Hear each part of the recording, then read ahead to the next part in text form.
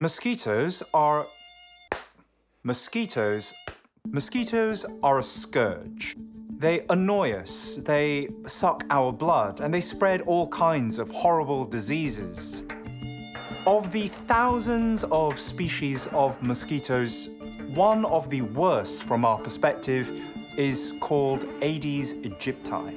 There's something almost beautiful about the way Aedes aegypti feeds and fills up with blood. But these things also spread the viruses that cause diseases like yellow fever, Zika, and dengue fever. And dengue infects 400 million people around the world every year. They're afflicted by severe joint and muscle pains, fevers, rashes, headaches. Many of them die. There is a long history of trying to control mosquitoes by draining wetlands, using bed nets, spraying them with insecticides. All of these measures are imperfect and some can be hazardous. Scott O'Neill, a microbiologist at Monash University in Australia, had a new idea for how to protect the world from dengue fever. When you explain that you're working on dengue, everybody's got a personal story about, you know, being sick themselves or a child or knowing somebody that's sick. So you spent years and years and years trying to find ways of stopping Aedes aegypti from spreading the viruses behind diseases like dengue fever. And your big idea is to inject them with a bacterium from the group Wolbachia. Yeah, so Wolbachia I've been fascinated with for many years, ever since I learnt about Wolbachia. Hey, me too. In fact, if I had to pick my favorite group of bacteria, it would probably be Wolbachia.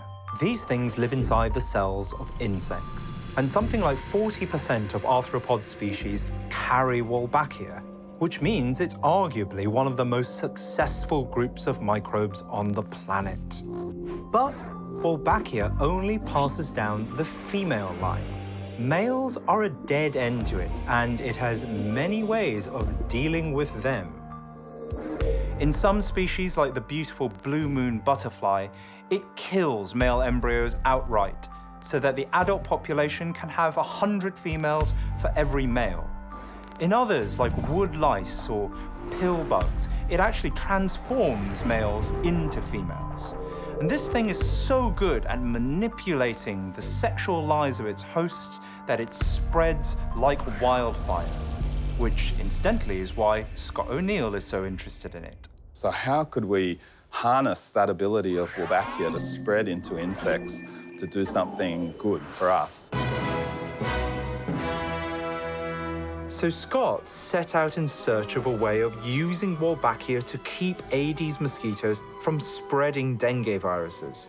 He started when the first George Bush was still president, and he tried a dozen tricks, including genetic engineering, but nothing seemed to work.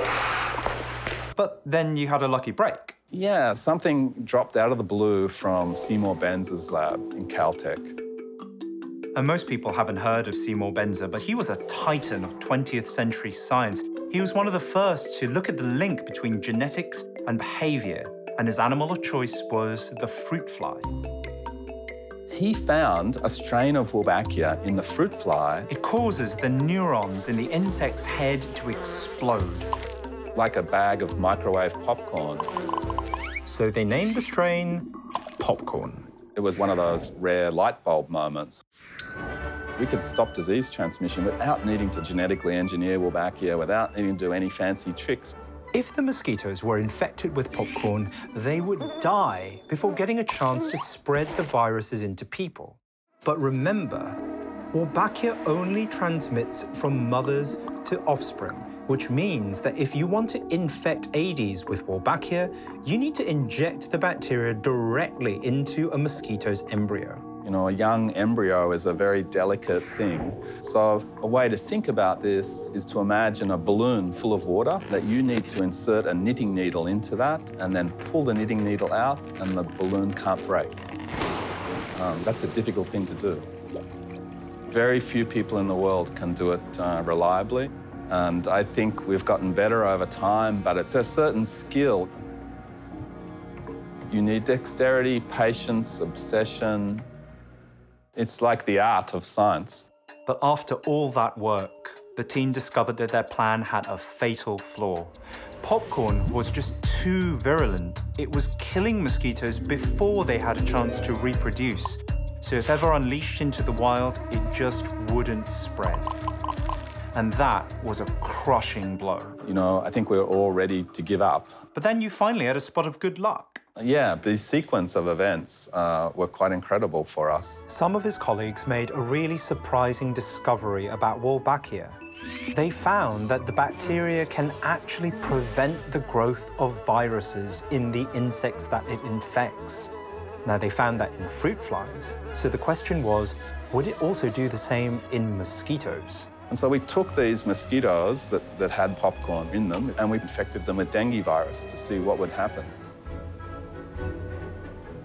And we actually found Wolbachia would prevent the viruses from growing. And if these viruses can't grow in the mosquito, they can't be transmitted.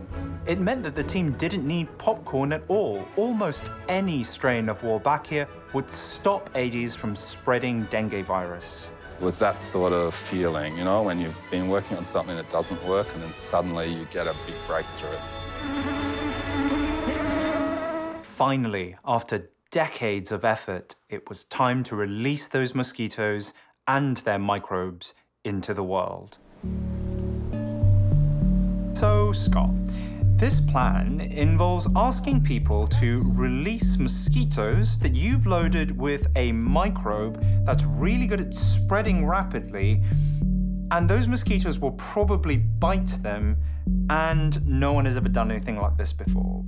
Was it hard to convince people to do this? People are frightened of dengue. And they're frightened of the impact it might have on their children. They're frightened that they can't control transmission of it. Everybody knows people that have been terribly sick from dengue. People are desperate for a solution. I think that helps facilitate them coming on the journey with us. Since 2011, Scott's team have set up trial tests in Australia, Vietnam, Indonesia, Colombia, and Brazil. Their mosquitoes have spread Wolbachia as they predicted. But the big question remains, has the number of dengue cases actually gone down? Those experiments are long, and probably we will get the results in two or three years. But in every location that we've put it out now. Even though all these locations are relatively small, we're not seeing any disease transmission occurring in those communities. Scientists are still figuring out the details of how Wolbachia blocks the transmission of viruses. But they know that it's not just dengue, it's also the viruses behind Zika, yellow fever, and chikungunya and they're trying to use bacteria to control other insect pests, like the tsetse flies that spread sleeping sickness, and bedbugs. I hate bedbugs.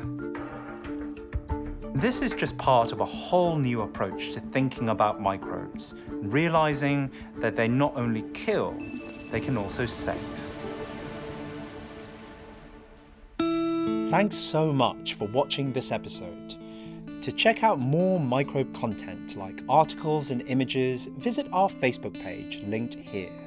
And if you're curious about your own microbiome, leave us some comments. I'll be back in a couple of weeks to answer your burning questions. See you next time.